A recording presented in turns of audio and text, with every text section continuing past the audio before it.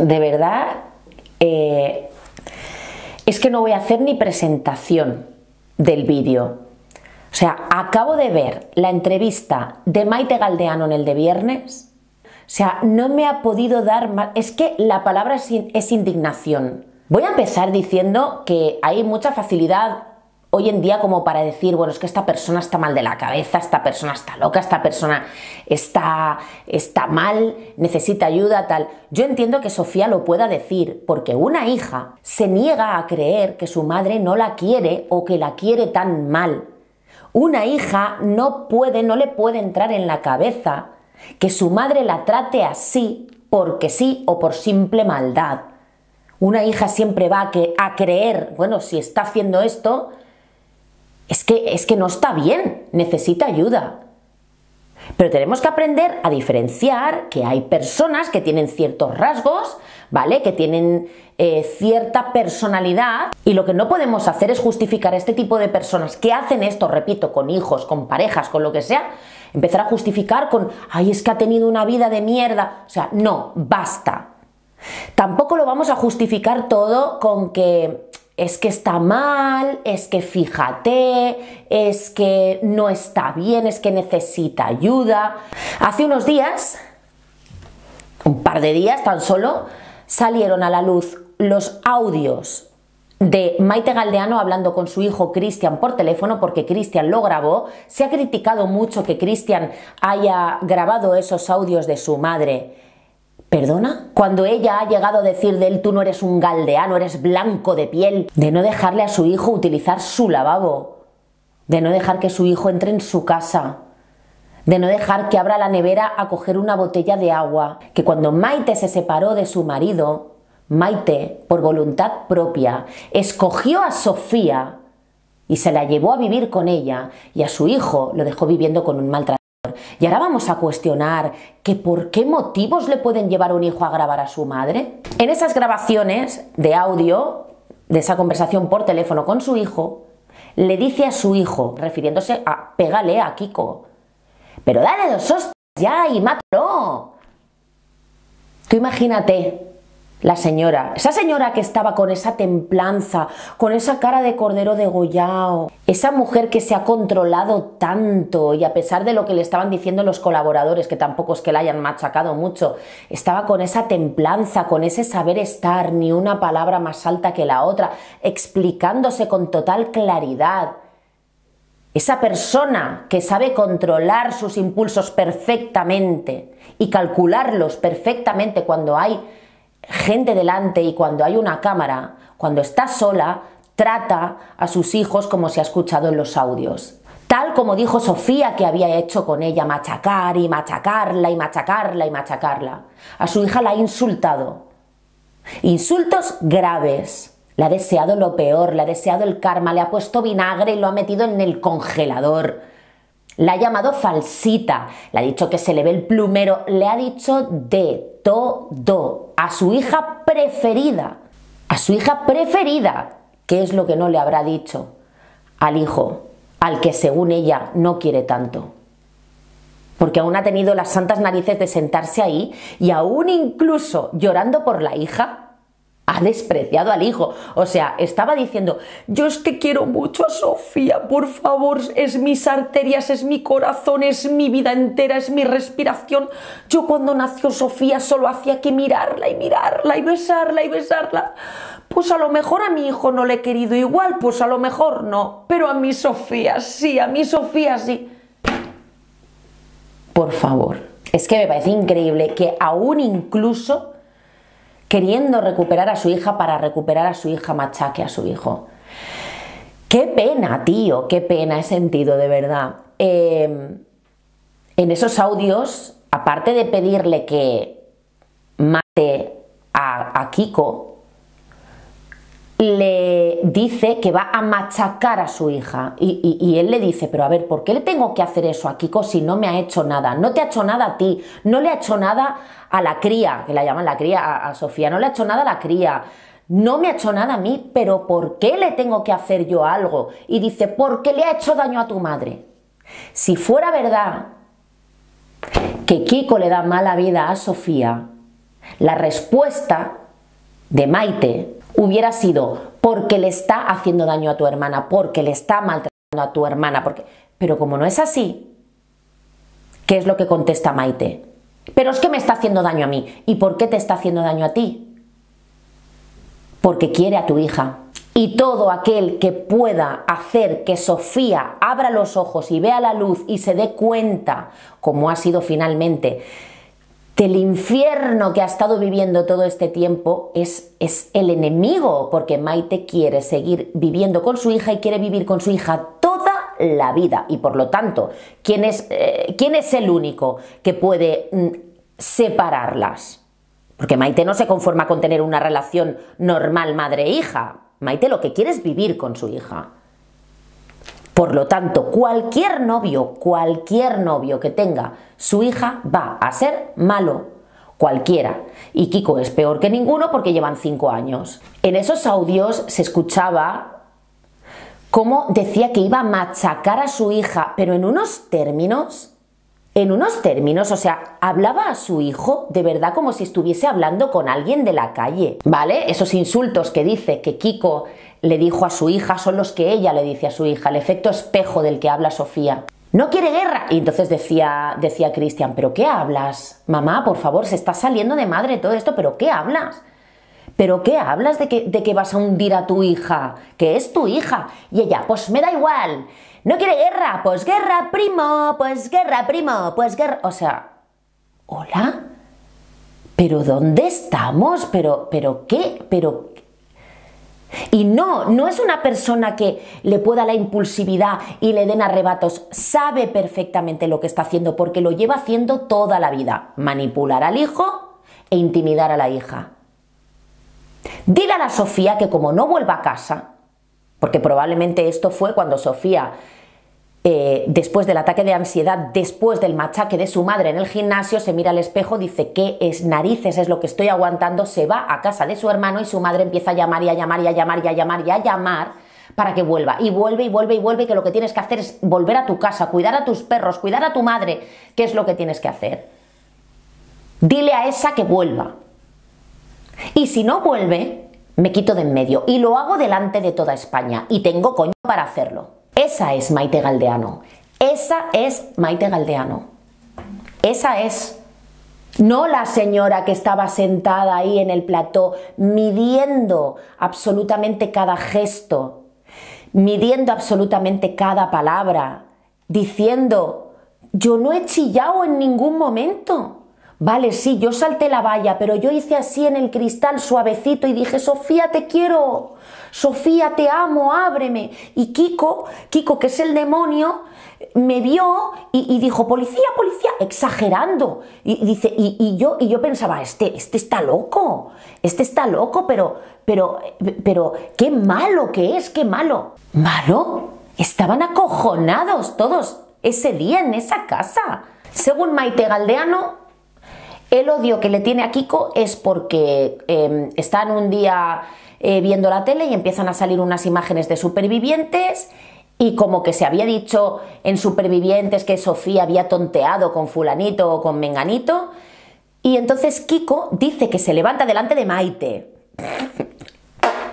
delante de Maite, que se levanta Kiko y dice, ¿por qué es que te has comportado como una delante de toda España y que luego no sé qué es lo que dice Maite, oye, a mi hija no le tienes que hablar así. Maite súper tranquila, ¿eh? diciendo, oye, a mi hija no la tienes que hablar así, ¿eh? Porque esto, ¿qué, ¿qué formas son, Kiko, de hablar a mi hija? Y dice que Kiko se agarró los huevos. Mira, Kiko, yo no te digo, mira, yo no sé las discusiones que tienen ellos en privado. Yo no lo sé, no lo sé de verdad. No tengo tampoco por qué poner en duda el testimonio de Sofía y cuando, y cuando Sofía dice, Kiko es mi gran apoyo, porque lo que ha aguantado él no lo aguanta otro, porque dos casas, ¿en qué momento? ¿En qué momento otro, otra persona, otro hombre, otra pareja me dice que sí a esta situación completamente atípica y anormal? Que podríamos tener una casa y convivir en una casa y estamos como, o sea, se ha tenido que construir una casa al lado de la mía porque yo tenía que convivir con mi madre. No podíamos dormir juntos, no podíamos abrazarnos, no podíamos besarnos. pasábamos el día los tres juntos, como si fuésemos un trío, y cuando llegaba la noche se tenía que ir a su casa, porque mi madre ya ponía mala cara. Como si tuviera Sofía, 14 años, Sofía, para la casa, ya venga, recógete. Venga a dormir. ¿Sabes lo que te quiero decir? Por favor. Ya te lo digo yo que eso no lo aguanta cualquiera. Mucho tienes que querer a esa persona para aguantarla. Y yo no estoy, yo, mira, como no conozco esa relación, yo no pongo la mano en el fuego por nadie. Y yo no sé si ellos en privado qué discusiones tienen o qué es lo que le ha podido decir Kiko a Sofía, pero lo que sí que te puedo asegurar es que habiendo escuchado los audios de esa mujer, habiendo escuchado el testimonio de la víctima y sabiendo cómo actúa, habiendo escuchado a Maite lo que ha dicho de su hijo, tío las barbaridades que ha dicho de su hijo. Ya te digo yo que Kiko no tiene narices a decirle pu a Sofía delante de su madre. Eso ya te lo digo yo. De hecho, ha llamado Sofía, o sea, ha llamado, ha escrito Sofía a un colaborador y dice, es que empezamos mal, es que miente todo el tiempo. Dice, primero, ella dice que me vio eh, cuando, cuando empezó a, Sofía, ábreme, ábreme, y vi a Sofía y Sofía estaba blanca como, un, como una estatua allí parada. Eh, mentira, Sofía dice, no la vi ese día. Es que es mentira, es que, como, es que si empieza así, ya empieza mal.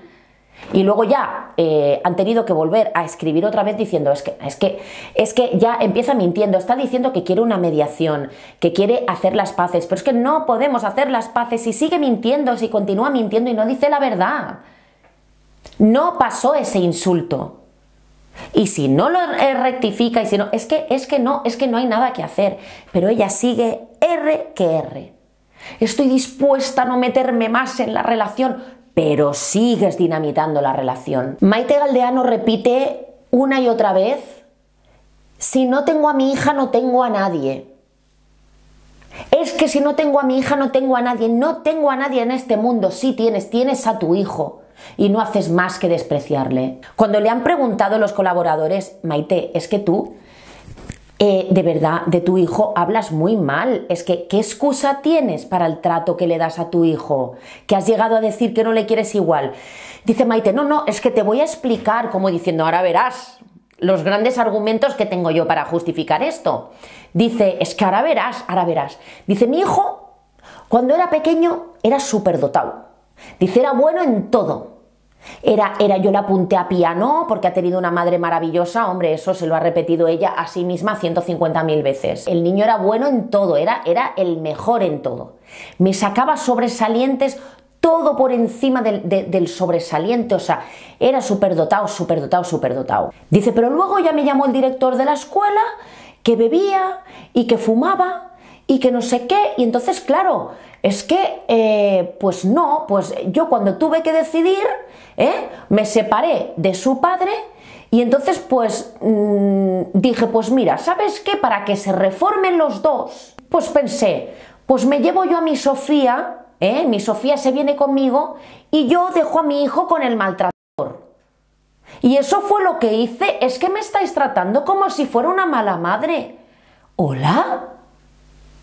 O sea, mira, para empezar, si este chaval era súper buen estudiante, eh, obediente, eh, muy buen nene, y de repente a los 16 años empieza a ya no sacar tan buenas notas y empieza ya a beber y a fumar, ¿puedes plantearte que a lo mejor es por la situación tan difícil que está viviendo en esa casa? Lo que no podemos hacer es elegir a uno de nuestros hijos. Mira, a ver, ¿cuál es mi preferido? Pito, pito, gorgorito. La niña. Dice luego, de la pena que me daba, o sea, hola. De la pena que me daba, ¿eh?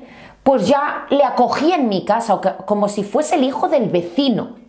Es el hijo del vecino y el pobrecillo de la pena que me daba, no, es que era tu responsabilidad. Que es que me estoy poniendo, me estoy encendiendo, ¿eh? Me estoy encendiendo. Escogió a la preferida y al otro, pobrecico, lo dejó ahí, solo ante el peligro, ¿vale? Y luego le, recogió en su casa, ¿verdad? Le acogió porque le daba pena.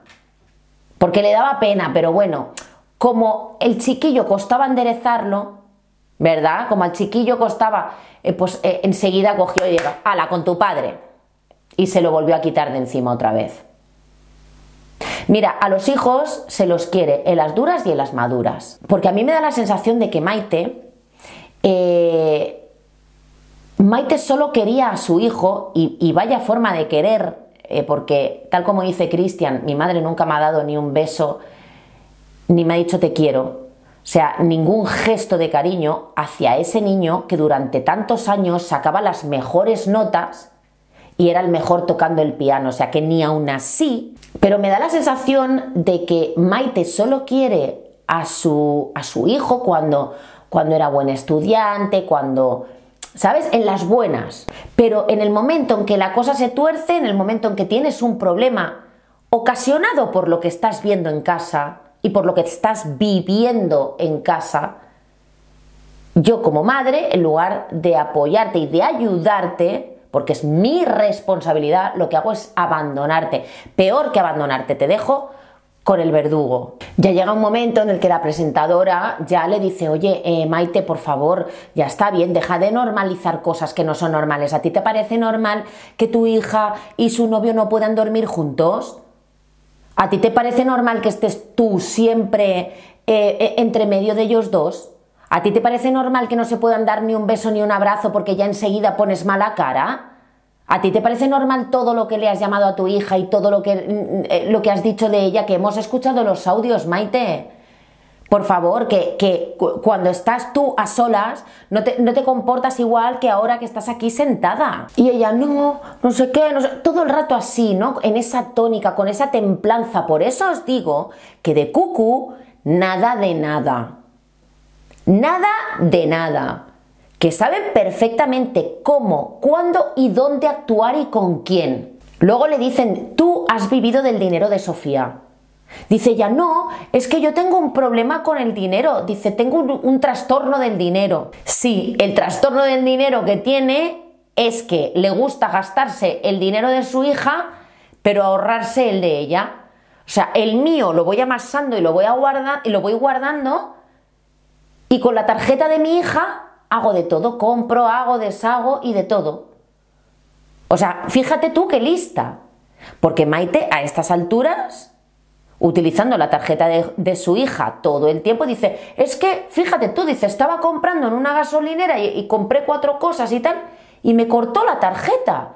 Y Maite que sepáis que está pidiendo al abogado de Sofía que le active la tarjeta, por favor. A ver, por favor, estamos hablando de una, de una persona que es que... Eh, es que sabe muy bien cómo hacer las cosas.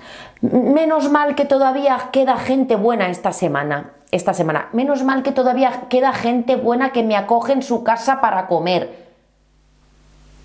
Tiene más de. O sea, se va a comer a casa de unos desconocidos que a saber Dios lo que le diría a esas personas, por favor acójanme que no tengo que comer y tiene una fortuna en el banco, por favor. Mira, esa señora tiene una casa, un piso precioso, ¿vale? A pie de playa en propiedad.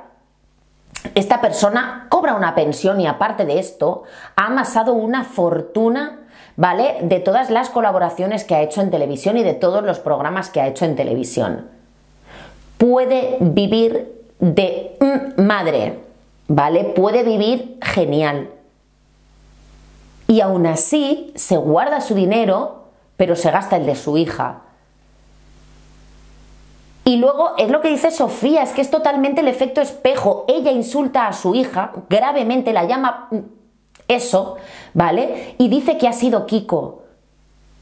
Ella se gasta el dinero de su hija pero luego eh, dice que los hombres, todos los hombres que se acercan a su hija no es porque la quieran, que es por su dinero. Ya te digo yo que ni por todo el oro del mundo aguanto yo cinco años a una suegra como Maite Galdeano. Ahí en esa casa nadie tiene narices a toserle a Maite Galdeano y lo hemos visto. No vayas al lavabo en mi casa, no abras la nevera en mi casa. Yo veo unos hijos bastante sumisos. En fin, gente, mira, yo creo que lo voy a dejar aquí porque de verdad me, ha generado muchísima indignación, mucha angustia eh, ver a esta mujer pero por lo que os digo, ¿no? Por, la forma, la templanza que ha tenido, ¿no? El control de sus, eh, de sus impulsos, el, ¿sabes? El decir, mira cómo, mira cómo aquí ella sabe qué papel tiene que hacer, cómo representar. Hostia, qué heavy, ¿eh? No creo que eh, la gente siempre está muy empeñada en, no, pero tienen que hacer las, las paces porque son madre e hija, porque es que al final se quieren, porque, oye, mira, no. Lo que está pidiendo Sofía no es algo tan raro, no es algo tan fuera de lo común, no es algo tan extraño, no es... No, Sofía lo único que está pidiendo es que quiere respeto, que quiere tiempo y que quiere libertad. Y eso no lo puede tener con su madre. Lo que no puede ser es que, de nuevo lo repito, lo que no puede ser es que se juzgue a la víctima. Eh, lo que no puede ser es que estén de barbacoa con los amigos y que esto se considere una provocación. Es que están provocando a Maite. Oye, cariño, es que si Maite se enfada por ver a su hija haciendo una barbacoa, es Maite la que tiene el problema y no Sofía.